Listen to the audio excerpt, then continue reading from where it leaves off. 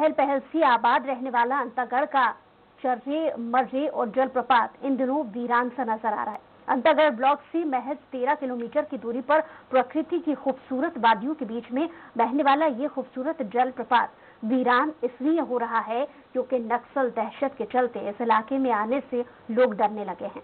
वही शासन प्रशासन भी पर्यटकों की सुविधा और सुरक्षा बढ़ाने के लिहाज से कोई खास इंतज़ाम करने की कोशिश तक नहीं कर रहा।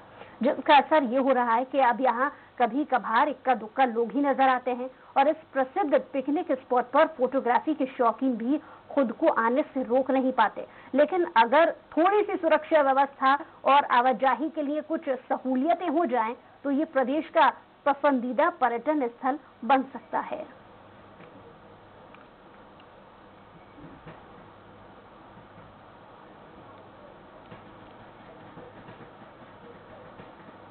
एक भी लिए बहुत अच्छी जगह है ये। और यहाँ की पानी बारिश वारिश होता है तो और अच्छा लगता है ये। जलप्रपात है तो अपन देखने के लिए आते लेकिन सरकार को ऊपर ध्यान देना चाहिए जो यहाँ पर रोड है वो बहुत खराब है। इधर बोलते हैं कि नंगे और ज़्यादा जानकारी के साथ स्वराज समाचार सुशील सलाम फ़ोन लाइन पे जुड़ गए हैं। सुशील वीरान हो रहा है। चर्रे मर्रे जलप्रपात, इसको लेकर प्रशासन की तरफ़ से क्या कोई कोशिश की गई है ताकि फिर से ये यहाँ पर पर्यटक नज़र आने लगे? जी, बिल्कुल मैं आपको बताना चाहूँगा। कांकेर ज़िले के अंतर्गढ़ ब्लॉक स्थित चर्रे मर्रे जलप्रपात है, जो कि पिछले दो से तीन साल होने जा रहा है। वहाँ पर्यटकों की संख्या धीरे धीरे कम होते जा रही है, जिसका मुख्य कारण है कि समय समय पर क्षेत्र में सक्रिय नक्सलियों द्वारा लगातार वहाँ पर्यटन स्थल में नकल बैनर पर्चे डालकर विरोध करते हैं।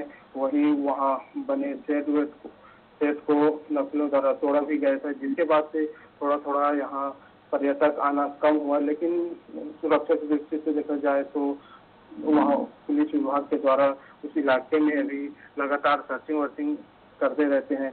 लेकिन वहाँ जाने के लिए पर्यटकों को पहुँचते तो हैं धीरे धीरे करके रोड अत्यधिक खराब हो चुकी है, जिसके कारण भी वहाँ पर्यटक नहीं पहुँच पाते और वहाँ पर्यटन स्थल घोषित तो किया गया है, लेकिन स्थानीय प्रशासन भी इस ओर ध्यान नहीं दे रही है। जी, चलिए, बहुत शुक्रिया तमाम जानकारी के लिए, सुशील। बुलेटिन में इतना ही कुछ और खबरों के लिए देखते रहिए, स्वराज एक्सप्रेस।